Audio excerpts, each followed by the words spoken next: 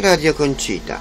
Także mówimy tutaj, proszę Państwa, o takim czarnym romanie, który podchodzi i opowiada różne proroctwa, rzeczy ludziom mówi.